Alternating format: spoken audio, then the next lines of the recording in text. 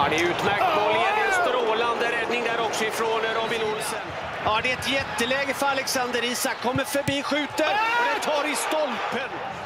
Bollen Ja, in. får- Åh, fantastisk räddning igen utav Olsen. Ja, det blir ett skott. Retur kommer rakt ut till Palinja.